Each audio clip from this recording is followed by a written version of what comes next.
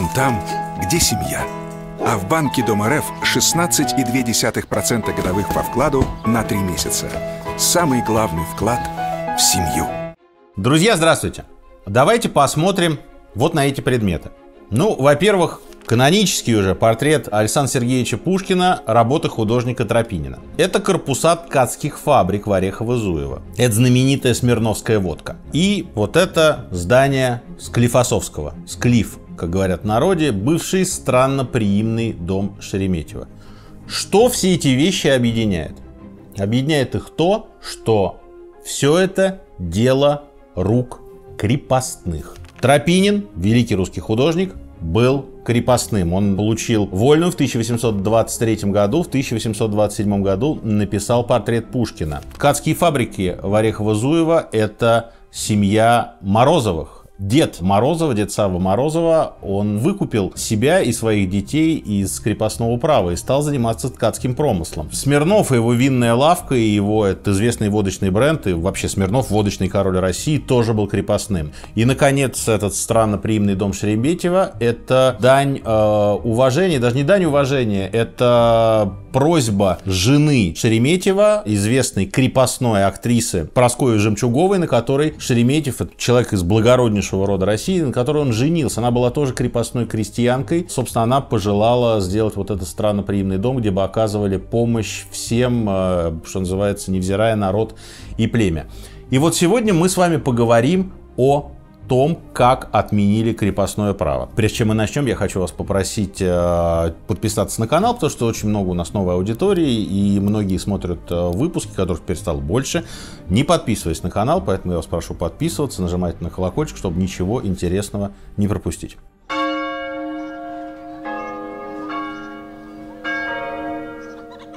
Когда мы с вами говорим э, о крепостном праве в России, ну, все, что, во всяком случае, большинство из того, что я посмотрел, что есть на Ютубе, это всегда, как правило, броский заголовок. Рабство в России. Давайте обсудим рабство в России, давайте обсудим, чем оно отличалось от рабства в Соединенных Штатах Америки. И, безусловно, мы сегодня об этом тоже с вами поговорим, но сводить к вот этому вот топ-5 отличий рабства в американских колониях и рабства в России, вот этого делать совершенно не хочется, потому что это довольно популистская история, хотя, повторюсь, мы много параллелей сегодня проведем. Давайте посмотрим на этот институт и самое главное на то, как крепостное право отменяли. Потому что, если читать э, историографию этого вопроса, создается впечатление, что вот какие-то предпосылки, да, были, естественно, они были. И потом царь Александр II сказал, надо это дело все отменять. Вот не мой, значит, предшественник не отменил, и предшественник предшественника не отменил, а я, значит, сейчас отменю.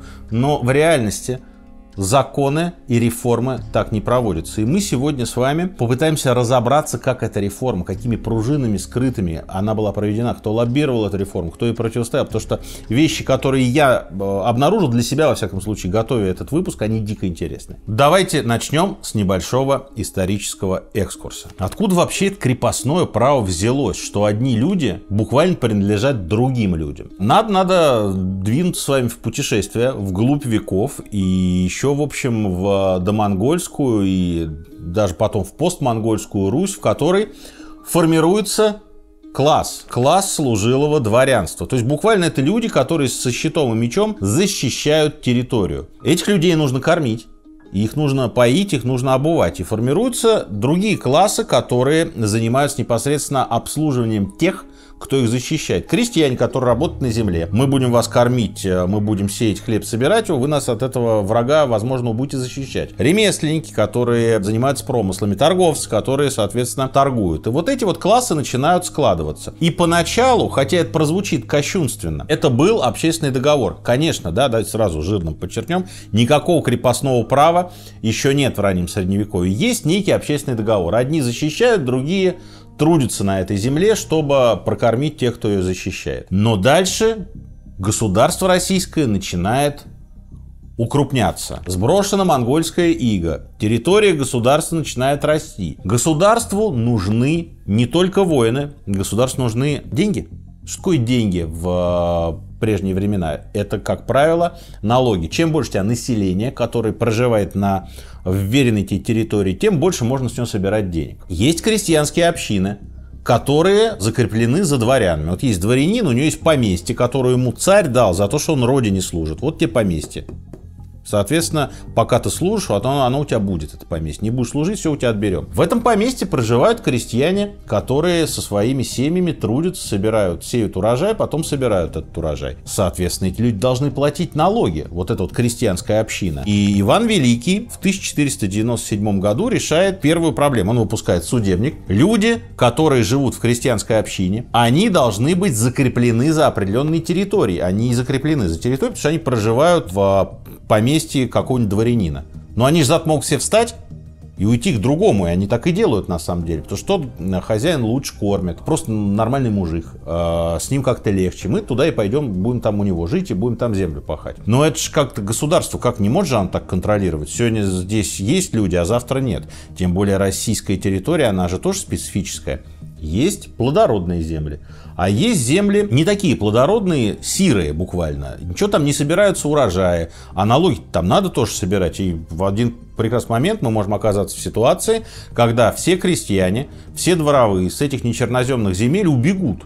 И будут только на Черноземье жить, потому что им там легче. Нам это такое не подходит, как государству. И Иван Великий в судебнике вводит понятие Юрьев день. Это день Георгия Победоносца. Вот за неделю до Юрьева дня и неделю после Юрьева дня крестьяне могут переходить от одного дворянина к другому, от одного хозяина, грубо говоря, к другому хозяину, но заплатив деньги за этот переход. Потому что если они с одного двора уходят, этот двор теряет рабочие руки, он теряет, в общем, и налоговое бремя на общину по-другому перераспределяется и государство растет, вот государство так хочет собирать налоги. И так налоги оно собирает. И вот этот судебник Ивана Великого – это первый шаг к закрепощению крестьян.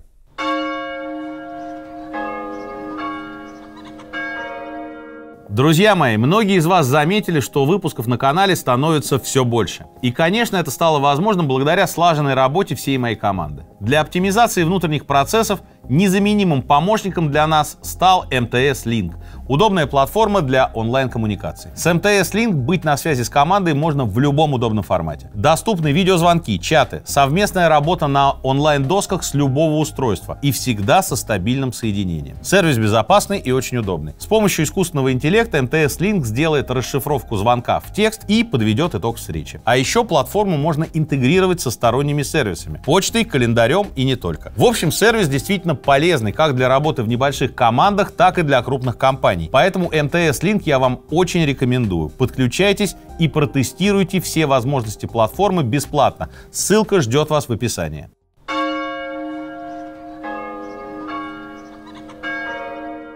Дальше мы с вами едем в эпоху Ивана Васильевича Грозного. У Ивана Васильевича Грозного в стране огромное количество проблем. Во-первых, Ливонская война, которая идет 25 лет почти. Война, которая высасывает все силы из государства. Людские ресурсы, бабки и все прочее. И как бы война дело дорогое. А, соответственно, нужно собирать большое количество налогов и каким-то образом а, постоянно усиливать государственное давление. И Иван Грозный вводит такое понятие, которое называется заповедные лета. Что это такое? В стране время тяжелое, непростое. Поэтому Юрий в день мы приостанавливаем. Никто никуда, ребят, уходить больше не может. Потому что вы должны сидеть на тех землях, которым вы товарищи крестьяне приписаны, и с них надо платить налоги. И более того, здесь же вот этот вот государственный гнет, государственный прессинг, он же во все стороны распространяется. Дворяне пока служат, имеют поместье. Крестьяне, значит, э, приписаны к одному господину, там они и сидят. И крестьянская община, и не только крестьянская община, и торговые общины, посадские, то есть они препятствуют выходу из своих общин отдельных членов. Почему? Очень просто. Потому что есть налог. Налог накладывается на общину. Община в год должна, не придирайтесь цифрам, не знаю просто сколько, определенное количество денег. Например, 100 рублей. Когда в общине 100 человек, каждый по рублю должен заплатить. А когда 95, это значит 5 человек убежали, а 100 рублей, значит, уже надо между 95 членами распределить. А если 50 человек уйдет, это значит 100 рублей будут гасить 50 человек, то есть по 2 рубля на человек. Зачем нам это надо? Поэтому община тоже удерживает своих членов, а крестьяне, конечно, бегут. Они не только переходят от хозяина к хозяину, они бегут к казакам, потому что там вольница казацкая, а они бегут на те земли, где никакого гнета нет. Гнет какой существует? Ну, ты живешь на господской земле. Это значит, что ты должен исполнять барщину и исполнять либо барщину, либо оброк. Иногда и то, и другое. Что такое барщина? Это значит x дней в неделю, а возможно есть контроль нет, то и каждый день. Ты определенное количество времени вот пашешь и сеешь и жнешь на своей земле и на барской. Потом собираешь этот урожай, барину отдаешь. Либо оброк, когда ты платишь это деньгой или платишь какими-то другими материальными активами, соболиными шкурами, если рядом есть охота, или еще какими-то вещами, которые твой хозяин этой земли может продать. Вот так все это и существует. Дальше, после заповедных лет, введены урочные лета, то есть вообще нельзя переходить, и объявляется сыск беглых крестьян пятилетний. То есть убежал чувак к казакам, его будут пять лет искать, найдут, вернут хозяину. Если на шаг назад чуть вернуться в заповедные э, лета, началось-то все с того, что много крестьян стало бежать. И поэтому крестьян этих надо было останавливать от побега, а позже ловить. Ну и вот 1597 год, урочные лета и Юрьев день отменен. То есть крестьянам говорили, вот-вот заповедные лета пройдут, потому что война закончится, опричнина вроде тут заканчивается еще. И Юрий в день вернут. И вдруг вводят урочные лета, и вот эта пословица, вот тебе бабушка и Юрий в день, она оттуда родом, из 1597 года. Представляете, сколько лет мы с ней живем, и, э, и население ее помнит. Это то, как ты что-то ждешь такого, что вот должно случиться, и ничего не происходит. Вот тебе бабушка и Юрий в день. Вот она, отмена Юрьева дня. Дальше едем, 1607 год, срок сыска беглых крестьян удлиняется удлинен, увеличен до 15 лет. Далее, 1649 год, царь Алексей Михайлович, тишайший, он принимает соборное уложение. По соборному уложению сыск беглых крестьян бессрочный, то есть не можешь ты больше никаким образом бежать и через там 5, 7, 10 лет обрести свободу, потому что тебя не нашли. Тебя найдут через любое количество времени, если, конечно, найдут, и обратно вернут. И появилась так называемая крепость. Что такое крепость? Это запись прикреплений конкретных крестьян конкретному поместью. И помещик распоряжается и землей, и всем имуществом крепостных. И вот эта вот крепость, отсюда идет слово крепостное право.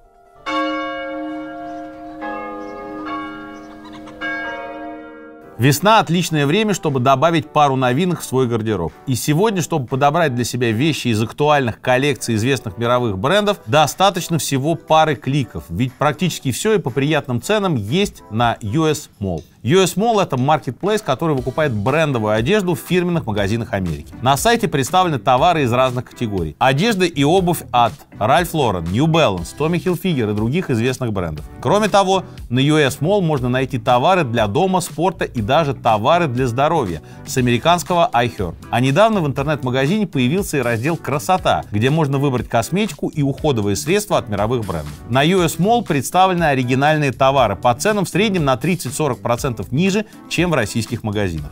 Оформить заказ просто. Вам нужно выбрать необходимые товары, добавить их в корзину и оплатить покупку картой любого российского банка. US Mall выкупит вещи в США и доставит их вам за 2-3 недели. А в случае, если заказ перепутают или повредят во время доставки, магазин компенсирует стоимость вашей покупки. По промокоду Минаев20 вы сможете оформить заказ с дополнительной скидкой 20%. С US Mall покупки будут не только приятными, но и выгодными. Ссылка уже ждет вас в описании. Переходите прямо сейчас.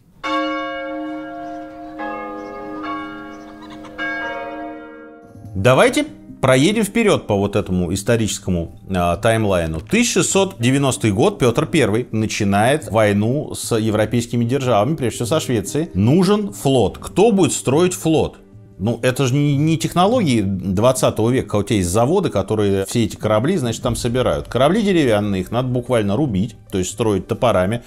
Откуда эти рабочие руки взять? И Петр I издает указ о продаже поместных крестьян без земли. Рабочие руки нам нужны, поэтому граждане-помещики, мы у вас крестьян будем скупать и переводить их в посессионные крестьяне. Что такое посессионный крестьянин? Это значит, что он без земли прикреплен к заводу или фабрике, которая льет пушки или строит корабли. Это, конечно же, была наиболее худшая доля. Потому что когда ты на своей земле, которая хоть и принадлежит помещику, но, в общем, ты на ней живешь, ты ее обрабатываешь, ты с нее кормишься.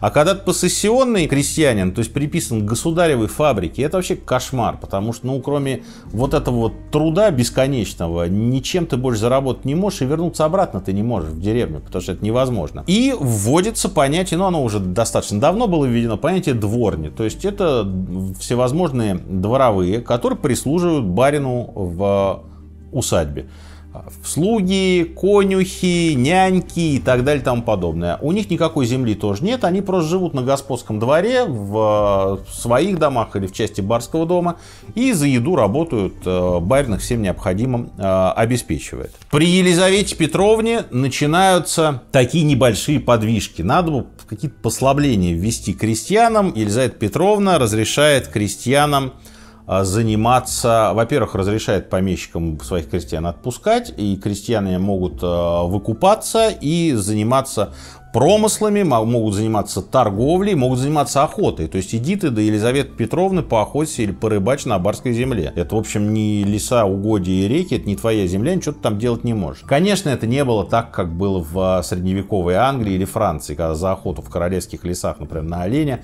тебя могли просто убить, потому что олень считался королевским трофеем. Ну, я полагаю, что в России тоже ничего хорошего бы не произошло. Дали бы тебе батагов или плетей за то, что какого-нибудь там завалил лося или медведь, не спросив на то хозяина, собственно говоря, леса. Екатерина II, просвещенный абсолютизм. Вот она с Вольтером переписывается. Ее подруга Дашкова переписывается с Дидро. И они все такие себя просвещенные. И Екатерина действительно говорит о том, что крепостное состояние это, конечно, бесчеловечная штука. И Дашкова, полемизируя с деятелями эпохи просвещения а, говорит о том, что да, конечно, это неправильно все. Но вы понимаете, в чем дело? И освобождать тоже неправильно, потому что, во-первых, они не образованные. Сначала надо образовать всю эту крестьянскую массу. Во-вторых, слушайте, ну помещики, они же тоже не звери. У них крестьяне это не рабы. Они живут в своих избах, они кормятся с этой земли, они, собственно, на этой земле работают. И помещик вынужден на них заботиться, может, он того и не хочет, но вынужден, чтобы они были здоровые, не больные, ведь они же ему, собственно, эти урожаи это приносят. Поэтому нет, рановато, рановато. Необразованный народ, и он, э, и Дашкова, я не помню, кому она сказала, ну там вот в ее э, рассуждениях с французским э, просветителем была такая фраза, что вот лежит э, слепой на вершине, значит, горы. И самое плохое, что можно сделать, он не осознает своего положения. Лежит и лежит, ему еду приносят, там воду приносят. А сейчас вот подходит какой-нибудь врач и снимает у него повязку с глаз. И он, значит, встанет и начнет ходить. Он же не знает, что вокруг пропасть и рухнет туда. Ну, я близко к тексту пересказываю. То есть, очевидный тезис, да, что, конечно, бесчеловечный закон. Ну, сами крестьяне не образованы. Сначала надо образование дать, чтобы они были готовы воспринять эту свободу, а уж потом мы дадим им эту свободу. Надо сказать, что в тот момент уже Екатерина Великая подписала манифест о вольности дворянства. Уже можно делать, что хочешь со своими крестьянами. Продавать их, а, менять их, продавать их, разделяя семьи. То есть они фактически фактически собственность. И в этом, конечно, близка история с э, рабством в Америке. Конечно, рабство – это история с сегрегацией, в первую очередь, потому что рабы были чернокожими. Только чернокожими, у них не было вообще никаких прав. Нельзя было жениться, у них не было никакого имущества, их можно было продать. Все-таки крестьяне жили на своей земле, и эту землю, понятно, что она принадлежала помещику, но крестьяне во многом воспринимали как свою, потому что они вот часть своей земли обрабатывали, часть земли обрабатывали помещик. И вот это вот, что называется, такой неправовой договор. Общественным договором трудно это назвать, я не люблю эту формулировку, ну то есть хороший общественный договор, когда одна каста общества унижает другую. Нет, но это вот веками сложившийся порядок. Конечно, это отличалось от рабства, где-то не отличалось, хотя могут продать, например, разделив твою семью, где-то отличалось, у тебя есть имущество, ты можешь э, э, жениться жениться, ты можешь выходить замуж, но, конечно, помещик должен благословить это. И помещики тоже себя по-разному вели. То есть, условно говоря, если, например, э, случилось так, что один крепостной у одного помещика полюбил э, крестьянку из соседнего поместья, у них дети появились. Лучше себе эту семью забрать. Дети же вырастут у меня в поместье, значит, у меня будет больше рабочих рук. То есть это все тоже было подвязано вот под этот вот местечковый уровень производства и уровень экономических отношений. Крестьяне не могут э, подавать жалоб, э, не могут судиться со своими помещиками до определенного времени. Но тем не менее это не значит, что помещики в общем, были неподсудны. Вспоминаем дело Салтычихи, вопиющее, которое было при Екатерине II. Салтыкова, помещица, которая была, в общем, во всех отношениях хорошая, прекрасная женщина. Нее умер муж. Я пересказываю это довольно быстро, чтобы не все хитросплетения не рассказывать, поскольку временные рамки нам этого не позволяют. Умер муж, и, видимо, поехала Салтыкова кукухой. Она начала буквально мучить и пытать всех своих крепостных. Ей приписывают 100 убийств, хотя документально доказано 37. И уже соседи начали писать в Петербург, что ну это просто монстр какой-то у нас монстриха живет. Ее арестовали, ее судили, и она сидела в подземной яме долгое время без света. Ей давали только лучину, чтобы она там могла при лучине есть и э, читать церковную книгу. Потом ее перевели в монастырь, но и дали пожизненное. И это был громкий процесс. И Екатерина сказала, что я никому не позволю издеваться над дворовыми и над крепостными. И это еще одно важное различие. Раба можно было убить в Америке. Раб был вещь во все времена в Российской империи была запрещена, было запрещено убийство крепостных. Да, конечно, Елизавета Петровна э, разрешила и дала право своим дворянам ссылать в Сибирь своих крестьян за кражи, неповиновение, поджоги и так далее и тому подобное. Да, были разрешены телесные наказания. Да, даже к гарему из крестьянок относились не как к какому-то дому терпимости. Ну, нормально, а что? Ну, вот живет барин со своими дворовыми девками. У нее их пять, и у него незаконно рожденных семь детей. Ну, это нормально, это такой уклад вот у нас. А что такого-то? Уклад у нас. Вот, это, конечно, не воспрещалось. Ну вот, а, узаконенного убийства, как а, в Северной Америке, конечно, не было. Но, тем не менее, конечно, это не свободное состояние.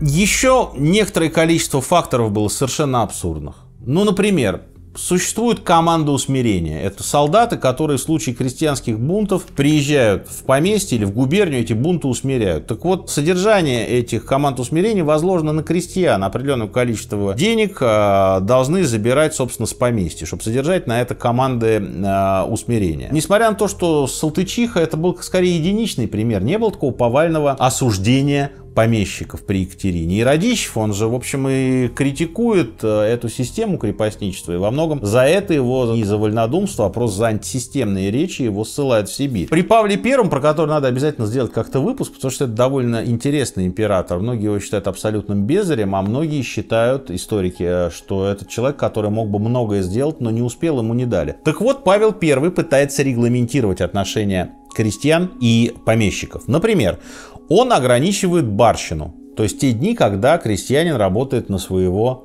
э, помещика. Ограничивает тремя днями в неделю всего. Больше запрещено. И вводит воскресенье выходным. То есть вот за выходное воскресенье мы должны быть благодарны Павлу Первому. Запрет на продажу без земли и на разделение семей. То есть семьи нельзя больше разделять при продаже, и крестьяне нельзя продавать без земли. Что это значит? Продаж без земли. Ну, то есть умирает какой-то помещик или поместье разоряется, и вот крестьян оттуда землю одному продают, а крестьян другому. Там, правда, на местах сразу перемутили этот указ Павла Первого и нашли в нем заковыку, что Павел Первый написал, запрещена продажа без земли с молотка. То есть на аукционе. А если без молотка, то можно и продавать, значит. Ну, то есть понятно, что помещики все, э, которые расселись по землям российским, они те еще были крючкотворы и пользовались любой, значит, пазухой в законе, чтобы туда свою пятерню просунуть. Дальше следующее уже царствование, 1800, следующее царствование меняется весь, прежде всего, моральный настрой дворянства э, и э, меняется экономический уклад. Что это значит? Не в смысле, что дворяне все стали вдруг раз и такими высокоморальными? Ну, конечно, нет. Просто война 812 года. Много дворян поехало в Европу, что называется, не поехало по приглашению, не по визе, а пошли войсками, чтобы победить армию Наполеона. И они увидели, что там-то отменено уже крепостное право, и там лучше как-то все это организовано, более эффективное сельское хозяйство, уже переход к капиталистической форме управления идет. Конечно, дворяне таких слов не знали, но тем не менее они же видели, что меняется способ производства, меняется экономика. И вообще огромное количество трудов просветителей все читали. А морально, когда человек владеет человеком. Тем более в Европе, в большинстве, в подавляющем большинстве а, стран уже к а, началу и середине 19 века было отменено крепостное право, и там шла уже дискуссия о запрете рабства. Не за запрете рабства внутри Европы. Это, кстати, тоже довольно интересное рассуждение, что рабство в Европе было там еще в раннем Средневековье запрещено. Но вот В Европе запрещено. А в новых колониях, пожалуй, что и разрешено, и поддерживали это и испанцы, и англичане, и все, кто хочет. Потом они начали это постепенно в 19 веке отменять. То есть это тоже такой избирательный закон. Вот есть одни люди, они там живут в европейской, на европейской территории. А это какие-то, значит, эти чушпаны, какие-то дикари, они там живут где-нибудь в Гваделупе. Ну и там и рабство, значит, можно. Они же что? Ну они же люди непросвещенные. Вот это тоже довольно лицемерный подход, но, что называется, из песни слов не выкинешь. И вот дворянство меняется, с одной стороны владеть людьми это аморально, а с другой стороны экономика у нас в общем неправильно развивается, потому что этот крестьянский крепостной труд, но он все равно, он же не оплачивается. Он все бесплатный, поэтому он неэффективный. Не будет человек вкалывать и класть 7 потов, чтобы просто отработать барщину. Если бы ему за это деньги платили, он бы, наверное, по-другому работал. В 1840 году крестьяне получили право жаловаться на помещиков и судиться с ними. И отменено крепостное право в Истляндии, Лифляндии и Курляндии. То есть во всей Прибалтике, которая является территорией Российской империи. Крестьяне там стали свободные, но без земли. При Николае Первом, Николай Палкин, тоже, кстати, надо, как его звали в либеральных кругах, человек, который, в общем, знаменит своей реакционной политикой управления управления государства. И вообще это такой жесткий период реакции, который, очевидно, понятно, почему получилось. Его царствование началось с восстания декабристов. И понятно, что дальше он все пытался контролировать и все держать в цензурных и силовых, э, что называется, тисках. Так вот, при Николае было арестовано 200 имений за то, что помещики притесняли крестьян. Бессудные наказания, унижения, кого-то покалечили во время телесных наказаний и так далее и тому подобное. 200 имений. А, такого не было ни в одном царствовании. Но, тем не менее, по-прежнему телесные наказания считались ок, и вот это все гаремное сожительство со своими дворовыми девками тоже считалось совершенно ок. И вот мы с вами в 40-х годах 19 века. Что происходит? Почему институт начинает трансформироваться? Ну, во-первых, как я вам уже сказал, есть моральный аспект. Но мы с вами, люди, которые уже посмотрели 300 выпусков на моем канале, мы в моральные аспекты в истории с вами, конечно, не верим, да, что все стали резко такие высокодуховные. Нет. Но, тем не менее, стоит признать, что сместился институт, сместилось понимание, и стало с крепостными обращаться как со скотом, ну просто не камильфо. Другая культура. Экономика, я вам уже сказал о том, что это а, совершенно никак не двигало экономику, потому что уже все страны европейские, они движутся по пути индустриализации. Во всем остальном мире что тогда происходило? В Англии последний крепостной был отпущен на волю еще указом матушки Елизаветы I английской. В 1574 году это произошло. Отдельная тема, как крестьян сгоняли в Англии земель, огораживание, все это прочее, не тема нашего выпуска. Тем не менее, крепостного права не было, начиная с 1574 года. В Испании с 4... там вообще крепостничество не очень сложилось. Ну, в 14 веке оно полностью закончилось на территории Леона Кастилия, а на территории Арагона и Каталонии, которые поближе к Франции, французскому королевству, отменили крепостное право в 1486 году. В Голландии на большинстве территорий к 1500 году никакого крепостного права не было. А в Швеции и Норвегии вообще не было никогда крепостного права. Видимо, это наследие викингов, которые вот не хотели, чтобы кто-то там властвовал над ними. То есть начальник может быть, но хозяин никакого быть не может. Это я домысливаю. В Дании, наоборот, она так тяготела к германским землям, и там крепостное право было отменено в 1788 году. В Венгрии его отменили отменили в 1785. Во Франции крепостное право отменено в 1789 году благодаря Великой Французской революции. Пруссия, тоже довольно жесткое крепостническое государство, отменило крепостное право в 1807 году.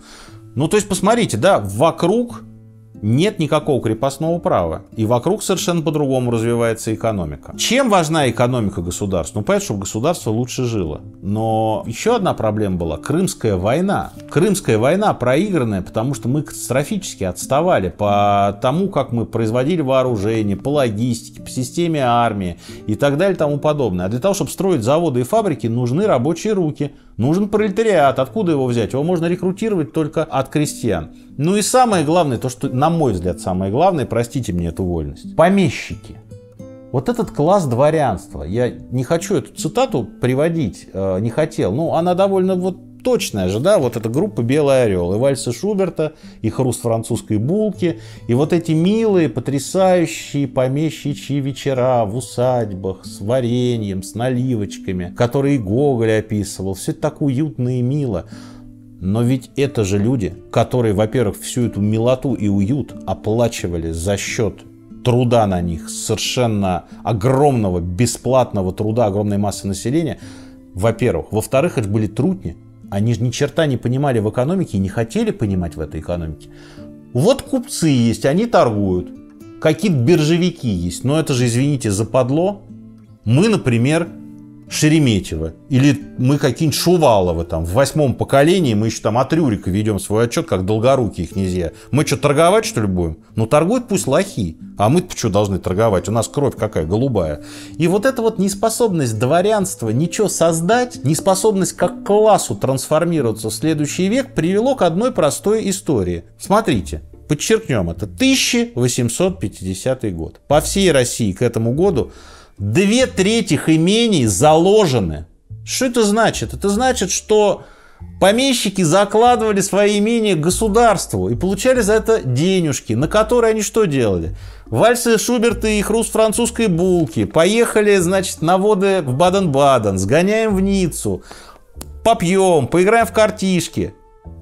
То, что называется э, хорошей жизнью.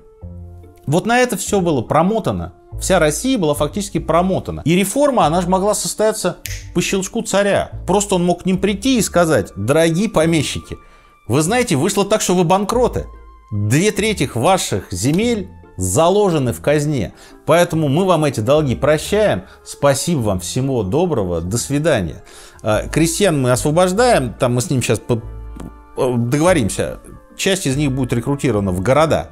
А вы дальше живите себе. Но почему Александр II этого не делает? Потому что выбирая между восстанием крестьян, а восстания крестьянские происходят в огромном количестве. При Екатерине была Пугачевщина, где главный вообще, главный постулат Пугачева, всех дворян, которые разоряют нас, крестьян и наши земли, вешать, казнить и убивать, потому что они наши главные враги. Не царь, а именно эти супостаты. И крестьянские восстания постоянно происходят. И боится России крестьянской войны, она вынуждена держать несколько внутренних армий на всякий случай. Но выбирая между крестьянским бунтом и дворянским бунтом, который на секундочку весь 18 век менял Россию, все дворянские перевороты, все отлично о них помнили. А в памяти Александра II еще живет восстание декабристов, которое случилось за пару десятилетий до описываемых событий. И выбирая между обидеть дворян а обидеть крестьян, ну, конечно, дворян, наверное, обижать не надо. Они трутни, уроды, они не хотят меняться. Они как сидели со времен Ивана Великого на своей земле, так они и сидят. Они уже даже, им даже уже подписали манифест о вольностях. Раньше они хоть служить были обязаны, а сейчас они даже не обязаны служить. Они могут сидеть в своих поместьях. Понятно, что общественная мораль не допускала для дворянина отсутствие службы. Если ты не служил, на тебя смотрели как на человека порченного. Чуть ты не служишь-то? Мужики все должны служить.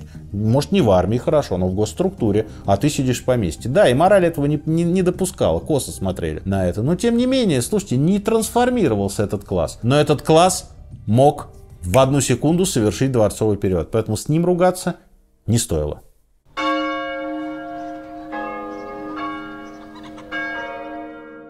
И вот в такой обстановке правящие элиты, будем говорить казенным языком, понимают, что с крестьянским вопросом что-то надо делать. И Александр II будет говорить, выступая перед дворянством, что очевидно состояние это несправедливое, и очевидно, что должно оно быть отменено, и лучше это сделать сверху, чем оно сделается снизу. Вот такие первые, пер, первые мечи пробные, что он закидывает. И здесь есть одна интересная вещь. Вот сколько... Я не читал про эту реформу, э, отмену крепостного права.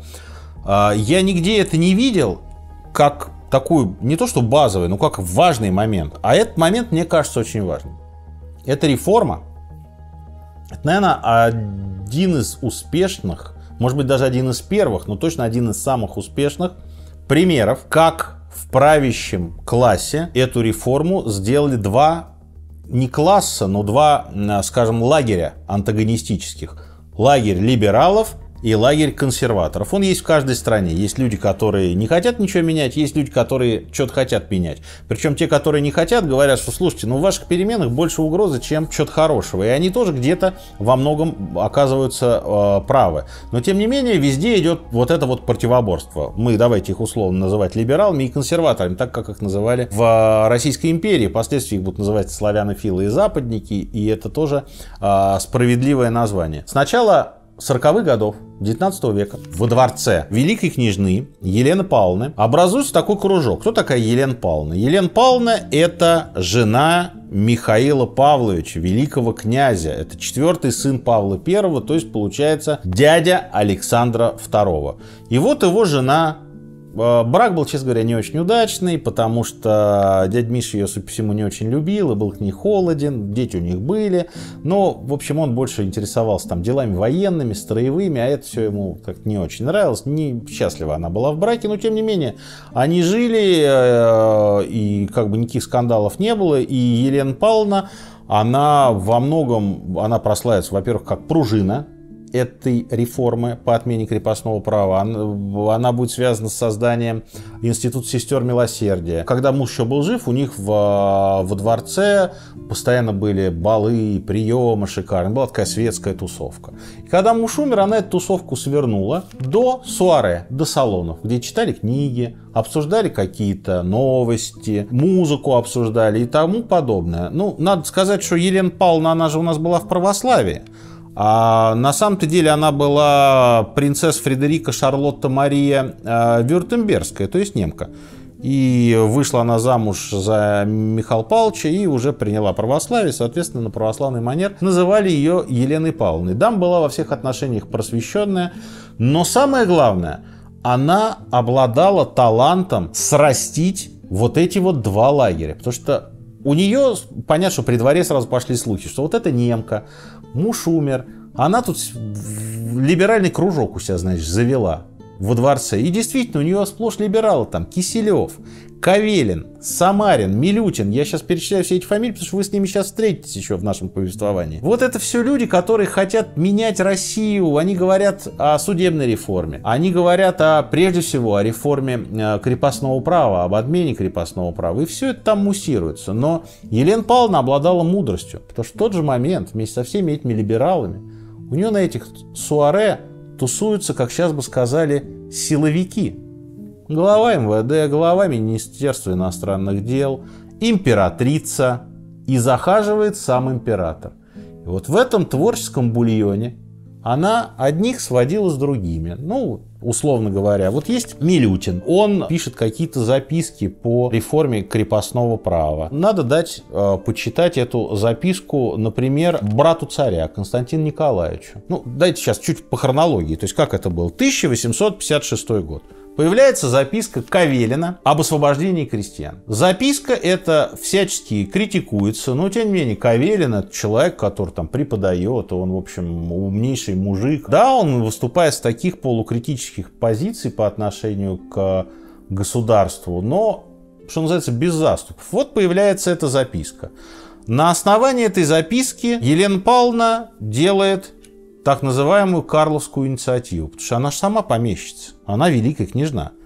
И вот в своем имении Карлова она делает эксперимент. Почему бы не отменить э, крепостное право, что-то не дать землю крестьянам в рамках, э, что называется, одного поместья. После этого она делает документ вместе с э, Кавелиным, который уже упоминался, и Милютиным о освобождении, план освобождения крестьян Полтавской губернии.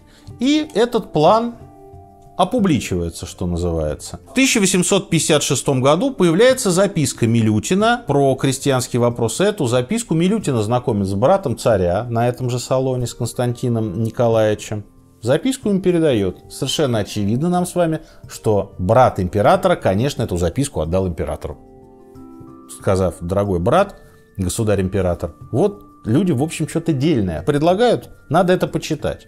С одной стороны. С другой стороны, в другом лагере, в лагере, будем говорить, ну, не хочется называть силовиков, хотя там много было силовиков, в лагере консерваторов. Появляется записка князя Долгорукова. Князь Долгорукий это вообще просто голубейшая кровь. Это, ну, элита, элитовна, элитовична. Даже не знаю, как это назвать. К нему очень специфически относились при Петербургском дворе, потому что он ни черта не делал. И, как писали современники, только э, происхождением своим, потому что Долгоруковы были при дворе со времен вообще непонятных. Так вот, только благодаря своему происхождению он получал должности, ордена и так далее и тому подобное. И в 1855 году он подает записку на имя императора о том, что вот надо крестьянский вопрос как-то управить. Но записка остается без э, движения.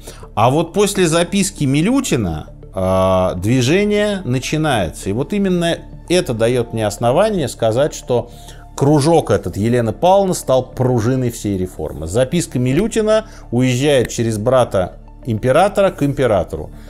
Сначала в этом же салоне Елена Павловна устраивает встречу Милютина с императрицей. Тоже какая женщина мудрая, да? Не к мужу сначала повела, а к жене. Типа ты там ее очаруй, императрицу, тын-тын-тын, а она потом тебе мужа приведет. И действительно, пришел государь-император, и они с Милютиным познакомились, и потом будет еще несколько встреч, что будет способствовать карьере э, Милютина.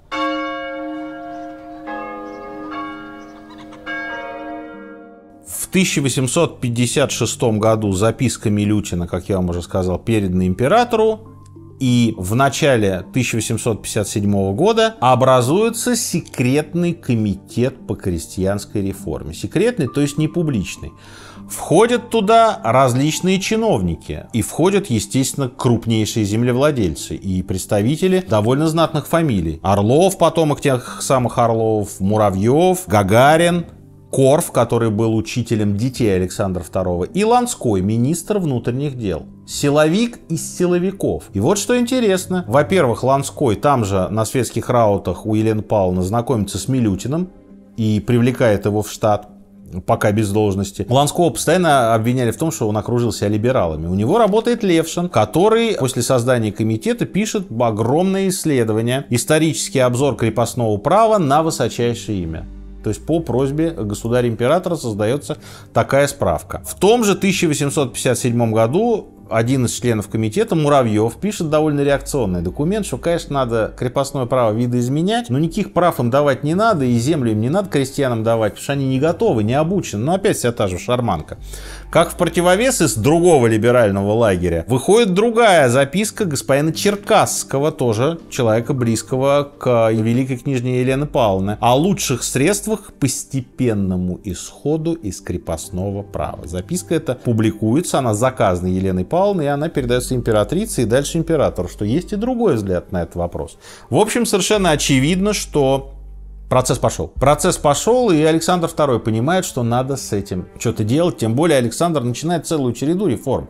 Ведь нельзя же рассматривать отмену крепостного права как просто гвоздь такой посреди стола. Судебная реформа, военная реформа, это все в правление Александра II. Его зовут царь освоб... государь освободить, потому что он освободил крестьян. Там же еще был целый ряд реформ. И вот, собственно, эта реформа была в русле тех преобразований, которые он хотел сделать со страной. Дальше, после обзора Левшина, в том же 1857 году появляется 20 ноября рескрипт Назимову. Что такое рескрипт Назимову? Во-первых, кто такой Назимов? Назимов это губернатор Виленский, Гродненский и Ковенский, генерал-губернатор.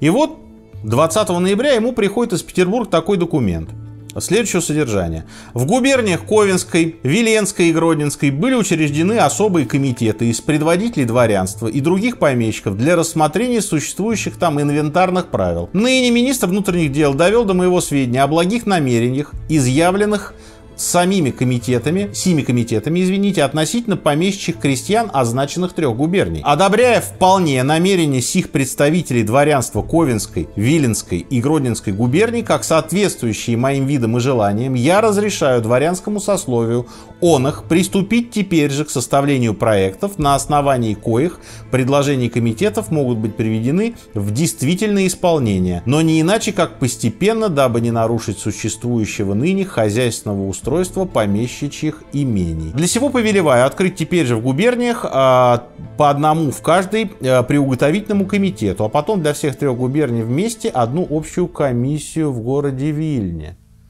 Вы понимаете, документы, ну вот я сейчас вот так читаю, типа документ такой был направлен царем э, генерал-губернатору. А генерал-губернатор в этот момент буквально, если он стоял, он присел.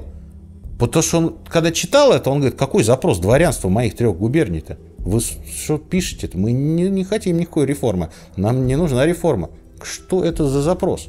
Как-то, идя навстречу пожеланиям дворянства, надо освободить наш источник дохода, крестьян у нас отнять. Это как такое? Что такое может быть? И начинаются запросы в Санкт-Петербург. Э, что же это такое-то? И запросы должны быть как-то отвечены. И для ответа на этот запрос находится казуистика. Обратите внимание, как государство ловко действовало когда она что-то хотела продавить. На запрос, что на основании чего рескрипт, нет, конечно, генерал-губернатор не мог обратиться ни с каким запросом, на основании чего царь мне пишет рескрипт. Рескрипт — это поручение. Стали задавать вопросы по всяким разным каналам, и нашлось объяснение. Оказывается, некоторое время тому назад Воронежский губернатор а, Спирин, услышав речь Александра II о том, что крестьянский вопрос должен быть сверху решен, а не снизу, захотел разъяснений и обратился к министру МВД Ланскому. Типа, а вы не разъясните, что это такое-то, как с этим жить-то? А оказывается, еще и Санкт-Петербургское дворянство с таким запросом обращалось. Эти запросы были опубличены.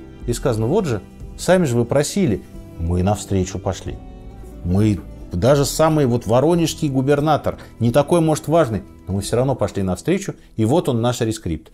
То есть дворянство поставили перед фактом, создали иллюзию, что вы сами к нам обращались, и мы, собственно, вот теперь с разъяснениями приходим. Давайте делать реформу, дорогие друзья. Начинают формироваться губернские комитеты из представителей дворянства, которые должны, значит, давать э, всевозможные предложения по крестьянской реформе.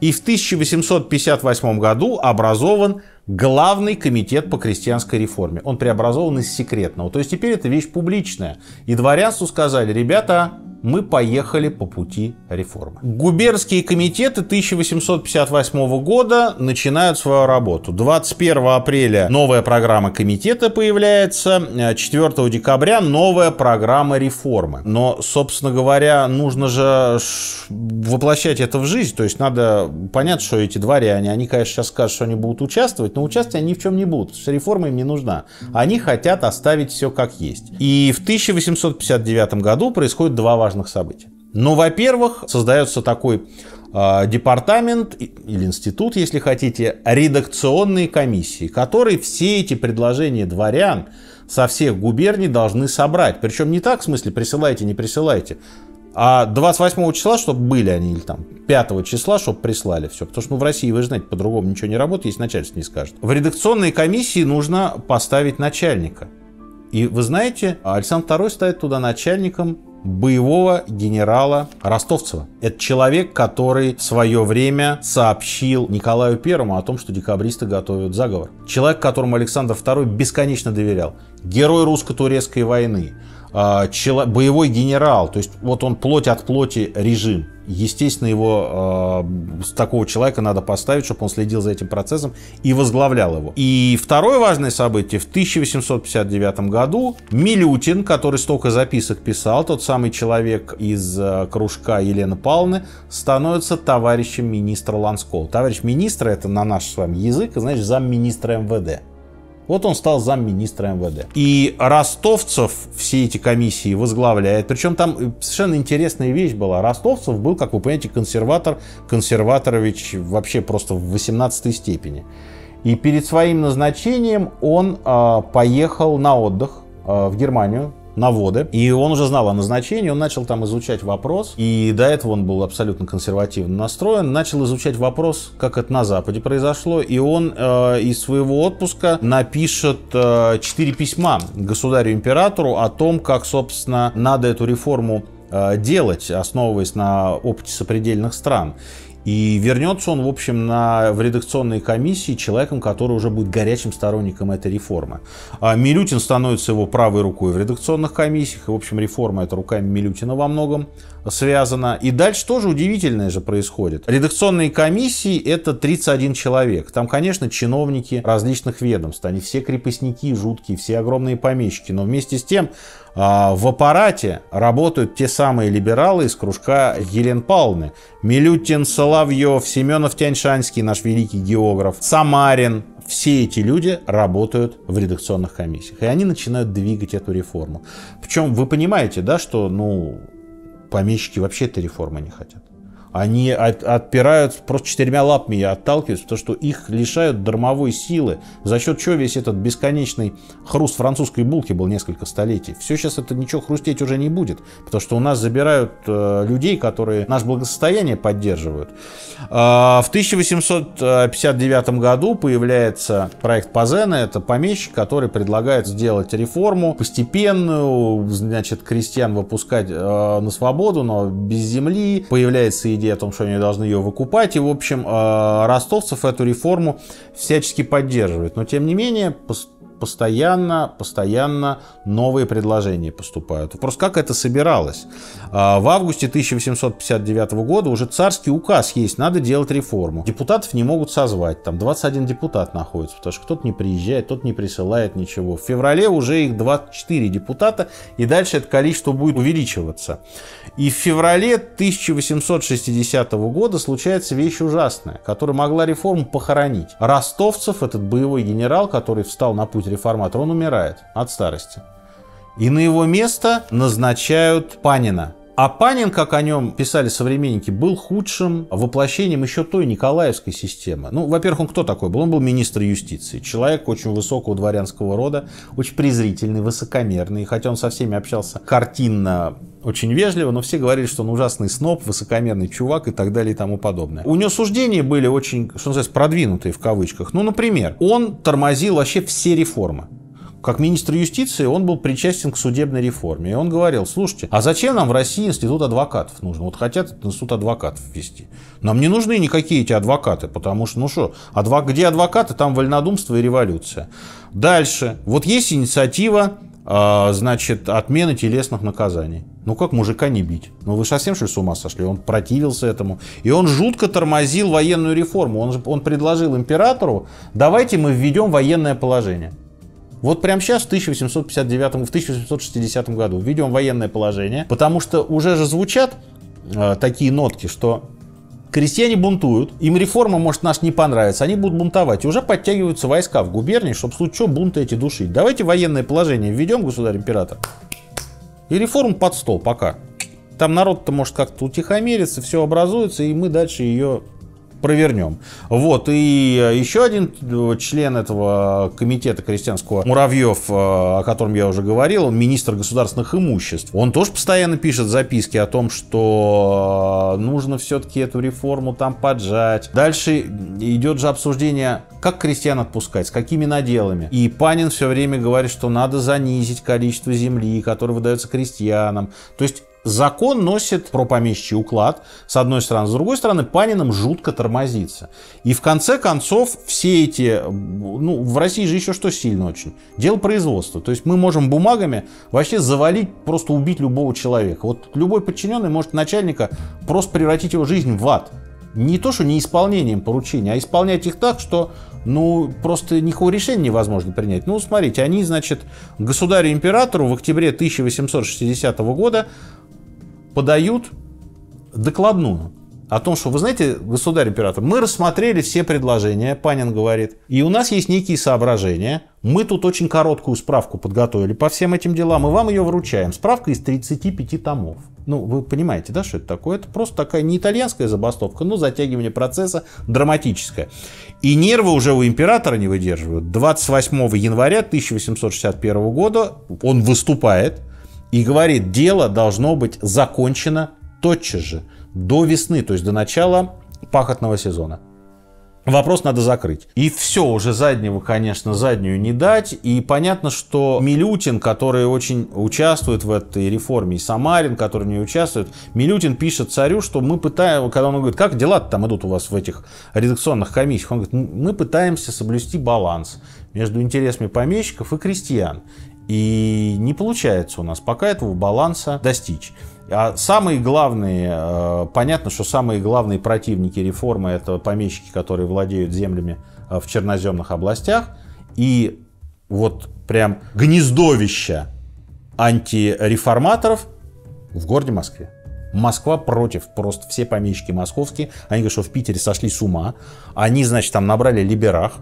И эти им толкают какие-то либеральные, значит, эти тезисы про отмену крепостного права. Мы здесь живем своим укладом уже там 800 лет и жить так будем. И Москва насмерть просто стоит, и в Моск... Москва просто такой центр вот этой а, антиреформенной деятельности. Но тем не менее, все, государь-император сказал, и 19 февраля по старому стилю, 19 февраля 1861 года, подписан манифест об отмене крепостного права. Подписан, но не опубличен. Опубличен он тоже очень интересно. Он опубликован, и царь его сам прочтет в Петербурге. В регионах будут специально посланные чиновники читать. Он опубликован 5 марта 1861 года в воскресенье. Почему в воскресенье? Религиозный праздник. Прощенное воскресенье.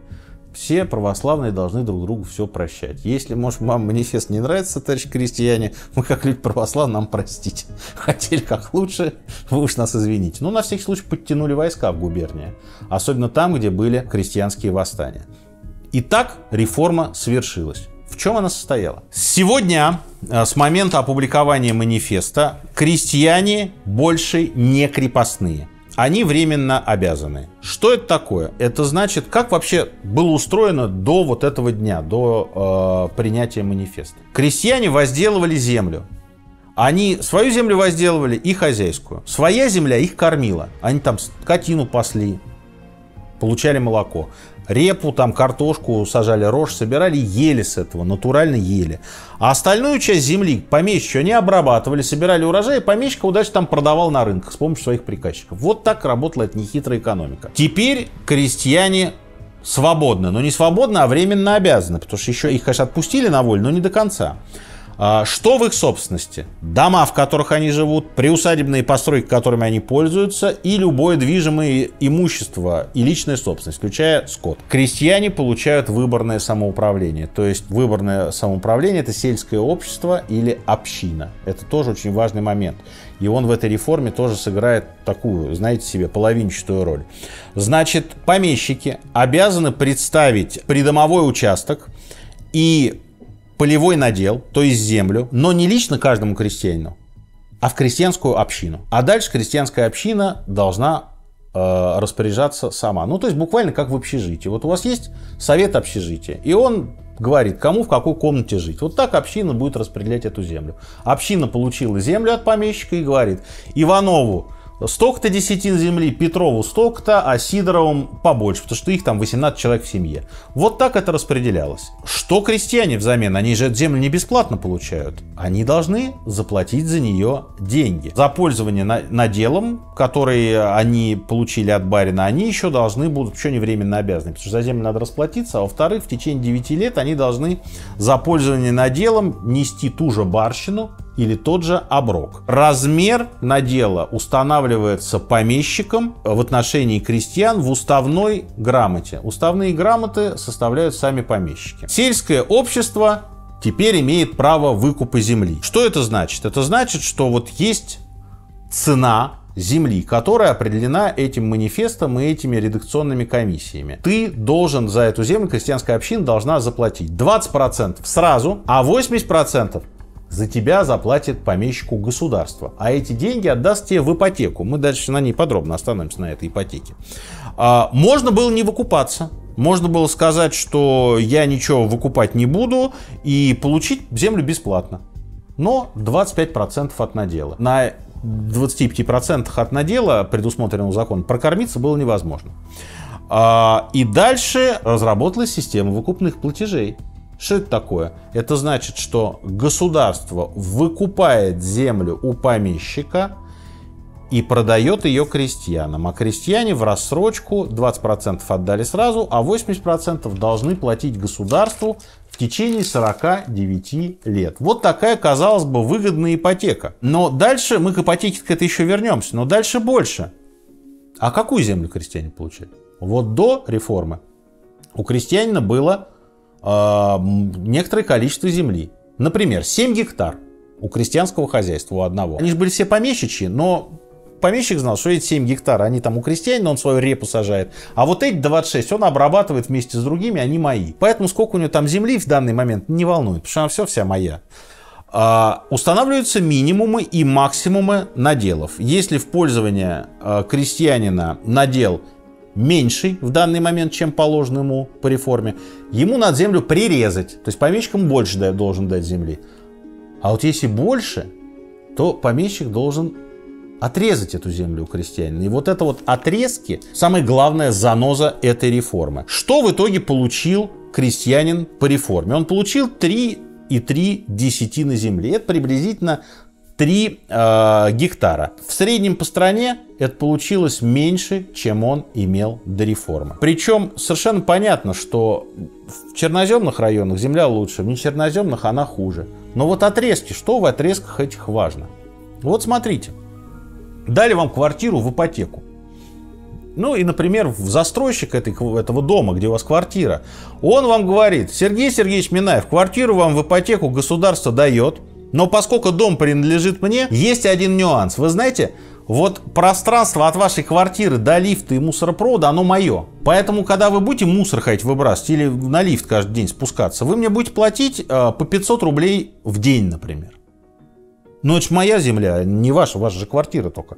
Поэтому вы мне платите деньги. Я вот на пальцах объясняю, что такое отрезки и через полосицы. То есть вот у крестьянина есть земля, у него есть скот, а скот надо гнать на луг. А луг становится хозяйской собственностью. Или через полосицу. Вот здесь ты реп сажаешь, твоя часть земли, а здесь помещичья, а здесь опять твоя. Но ты же не можешь туда-сюда ходить, поэтому ты возьми, пожалуйста, вот этот кусочек отрезка у меня в аренду. А аренда в три раза выше рынка. Ну что значит несправедливо? Другой-то аренду тебе никто предложить не может, старик. А тебе надо коров на водопой водить через мою землю. А вот это лес он мой. И помещики похвалялись, что мы деревенские э, общинные земли просто вот так вот окружили по кругу своими землями. Они могут ни скот выпасти без нас, ничего. Они вынуждены эти отрезки э, брать в аренду и платить огромные деньги. И один из э, немецких арендаторов позже, уже там через 10 лет после реформы, он там будет искать землю в аренду и будет все время узнавать у помещиков. А есть в этой усадьбе от Хаски? Потому что от Хаски это самое важное, что есть. Самые лучшие куски земли были которые были у крестьян, в общем, вот так отрезаны. И это самая большая проблема. До революции 17 года крестьянство будет о ней говорить и постоянно требовать отмены этих отрезков. Дальше выкуп. Почему крепостной крестьянин становился не свободным, а временно обязанным? Потому что он должен быть временно обязанным до момента выкупа. Выкуп этот я вам э, на пальцах рассказываю. 20% ты вносишь платежа сразу, 80% за тебя вносит государство на 49 лет. Но вносит же не просто так. Ты должен платить э, ежегодный э, платеж под процентную ставку 5,6%. Я вам не буду долго математически это раскладывать, но просто чтобы понять, как это происходило. Первое. Землю оценили не рыночно. Ее оценили от 3 до 5 раз выше, чем она стоила. Чтобы помещикам потрафить, чтобы у них было больше денег. Во-вторых, этот ипотечный платеж на 49 лет. Вот все это вместе привело к тому, что к 1906 году, то есть э, сколько получается-то, 45 лет после реформы, к 1906 году крестьяне российские заплатили за свою землю 1 миллиард 571 миллион рублей. А рыночная ее стоимость была 544 миллиона. То есть они взяли и переплатили 250%. Не то, что они взяли и переплатили. Государство сделало так, чтобы они переплатили 250%. Как знаете, в нулевые, в конце 90-х, в начале нулевых банки вот этими мелкими строчками, да, кредиты очень выгодные давали, но только там в мелких строчках было написано, что ты там заплатишь в 5 раз больше, чем этот кредит есть. Ну, на языке аферистов это называется схематоз. Вот такой схематоз Российская империя предложила своим крестьянам и воплотила его. То есть крестьяне получили меньше земли, что, чем у них было до реформы. До реформы помещики получили лучшую землю, еще отрезали ту, которую, а, землю, которая была излишками у крестьян, затрудняли крестьянское хозяйствование, и крестьяне на 49 лет попали вот в эту кабалу, потому что денег ни у кого не было. И опять же, можно было отказаться и выйти, отказаться от этой земли и крестьяне так и делают, потому что они понимали, что мы никогда не расплатимся. Сначала, когда реформу прочитали, что сделал добрый русский крестьянин? Он сказал, ну это вранье. Вот когда начали эти грамоты подписывать между помещиком и крестьянами, в первый год 60% грамот крестьяне не подписывали. Они говорили, царь нам дал свободу. А вы, твари, помещики, все извратили. Мы читать не умеем, мы же не грамотные. Но нам сказали, что в Питере документ другой был, вы все поменяли. Наивно думал русский крестьянин. Ничего подобного, конечно, документ никто не менял, просто документ был составлен а, в интересах помещиков. И вот таким образом реформа эта состоялась. Крестьянин получил меньше земли, а, он попал в долговую кабалу и, в общем, он пострадал. Но пострадал и помещик, потому что, честно говоря, этот класс умирал. И он не мог новым хозяйством никаким заниматься.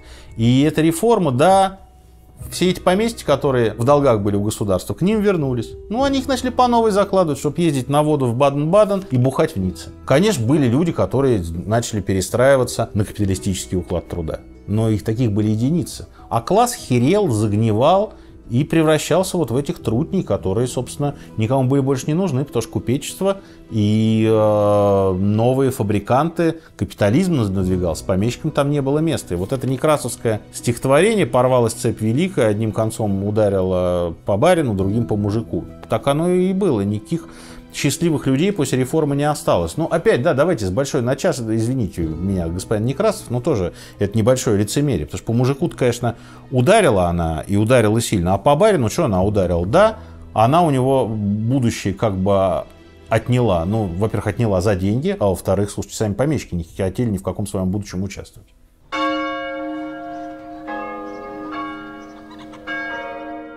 Переходя к анализу реформы. Крестьяне стали свободными. Прекратился институт этот купли-продажи людей. Можно было уйти из общины, отдать землю и стать городским пролетариатом. И действительно, экономика России получила много рабочих рук. Юридически институт крепостного права отменен. Но как социальный институт он все равно еще сохранен до начала 20 века, потому что выкупиться из этой кабалы очень трудно. Выкупная стоимость была в несколько раз выше рынка. Когда мы складываем эту рыночную стоимость, ипотечный платеж, проценты по кредиту, по итогу крестьянин переплатил в разных регионах за свою землю от 4 до 7 раз. Отрезки, 20% отрезков это были лучшие земли, как я вам сказал уже, луга, выгоны для скота, проходы к водопою, все это отдавалось под, в аренду крестьянам по цене в два раза выше рынка. И все эти отрезки не были отменены. Они отменены были только в 1917 году. Это во всей революции в 1905 года, в революции, это был главный крестьянский вопрос. И отрезки там были одним из таких вот базовых камней. Безусловно, реформа способствовало прогрессу российской экономики. Производительность сельского хозяйства увеличилась. Многие крестьяне переходили в пролетариат и формировали новый класс, формировали заводчан, формировали совершенно новый социум. Этот социум стал потом главным двиглом революции и 1905 и уж, конечно, 1917. К 1881 году, я вам сказал же, что в 1863, к 1 января 1863 года 60% уставных грамот крестьяне отказывались подписывать. Более того, крестьяне стали бунтовать. За 5 лет до реформы было всего 474 крестьянских бунта. За один только 1000 1861 их было 1176. И некоторые бунты подавлялись а, с огнестрелами, то есть крестьян убивали, в войска входили и убивали бунтующих. То есть это была, в общем, кровавая история, и Россия буквально боялась крестьянской революции, и даже она считала, что эта революция началась а, и идет. К 1881 году временно обязанных осталось 15%. Тут надо, кстати, тоже базово сказать, что крепостные крестьяне не составляли подавляющий процент российского крестьянского населения. По разным оценкам 36-40% только были крепостными. И реформа, конечно, были же не только крепостные крестьяне, были еще государевы крестьяне. Там реформа была мягче, потому что стоимость всего навсего была завышена а, в 2,2 раза, а не в 4 и не в 7 раз. Но, тем не менее, она мягче там прошла. А вот э, дворовые, например, они же тоже были крепостные, а земли у них не было. И эти люди фактически были обречены на голодное существование. Либо продолжая при дворе барина трудиться, либо иди на свободу, у тебя все, имущества никакого нет. И это была катастрофа абсолютная. Недоимки крестьяне не могли платить, у них не было денег. И вот просто вдумайтесь, к 1902 году сумма недоимок составляла 420% от суммы ежегодных выплат. Эти деньги невозможно было уже собрать. И в итоге в 1906 году, после Первой русской революции, списали эти недоимки. Николай II сказал, так уж и быть, монаршей волю прощаем. Потому что понятно, что не собрать было эти деньги. Вы и так уже полтора ерда хапнули с крестьян. Куда уже? Ну и вот списали эти недоимки. Еще один недостаток реформы. Крестьяне получили по этой э, реформе на 30% меньше земли, чем у них было до реформы. Крестьяне эта реформа способствовала, как я вам уже сказал, переходу в пролетарское состояние, но она способствовала и обнищанию крестьян. Много разоренных, так называемый сельский пролетариат, община опять не отпускает, потому что общине же платить за эту землю. Община получила землю у помещика, и община должна ежегодно вносить платеж. Если ты сейчас убежишь, то, соответственно, это бремя распределится на нас всех. Нет, ты уж давай, чувак, сиди с нами. То есть такое тоже было. В итоге э, реформа прошла, экономику она, конечно, толкнула, реформа половинчатая, несправедливая. Уже много-много об этом сказано, тем не менее она состоялась, она могла вообще не состояться. И если бы сидели везде такие господа, как Панин, она бы, конечно, не состоялась, но все-таки были люди, которые понимали, что эта реформа тормоз развития страны. Как я вам уже сказал, недоимки списали в 1906 году, а отрезки закончили с отрезками только в 1917. Но, тем не менее, много крестьян выбрали для себя другой путь. То есть они становились купцами, кто шел работать на фабрике, становился мастерами и так далее и тому подобное. Но по большому счету, что называется, кому как повезло. Реформа, конечно, была несправедлива по отношению к крестьянам. Конечно, это было великое ограбление русского крестьянства, но вот такова была цена свободы. Еще один момент безземелья. Да, крестьянам земли не хватало многим, и они могли себя с нее прокормить. И казалось бы, сделайте переселение людей в Сибирь. Там земли этой во. И это то, чем потом будет Столыпин заниматься. Столыпинская аграрная реформа – это переселение крестьян. Почему? Потому что за Уралом много земли. Ее нужно обрабатывать, но оттуда людей перевозить, создавать им условия труда. В 1861 году об этом не подумали. Ну, понятно, что логистика была сложная, как таковых железных дорог еще не было и так далее и тому подобное. Но, тем не менее, вот этот базовый вопрос, который тоже надо было решать, он решен не был памяти о реформе был построен а, Александр Невский храм в Москве. Он начал строиться в начале 20 века и закончен он в 1917 году на Миусской площади в Москве, то есть в районе метро Новослободская или Менделеевская. Впоследствии советской властью взорван, уничтожен этот храм. Аграрный вопрос оставался главным в России до, в канун всех революций 905-917, и Столыпинская реформа пыталась ошибки 1861 года исправить, но неудачно, а потом Столыпина застрелили. Вот такой вот рассказ об отмене крепостного права в России. Я еще в качестве финала хочу сказать, что вот это вот весь быт, вот эта вот картинка пасторальная, которая во многих сериалах, во многих фильмах, как хорошо жила вот эта вот глубинка, помещики, вечера, вот эти театры поместные, луга, шампанское, все это стоило российскому крестьянству полтора миллиарда. То есть все это было сделано подневольным трудом, и крестьяне за свою свободу заплатили огромное количество несправедливо отобранных у них денег. Спасибо, что смотрите уроки истории. Я еще раз вас прошу, подписывайтесь на канал, нажимайте на колокольчик и до новых встреч.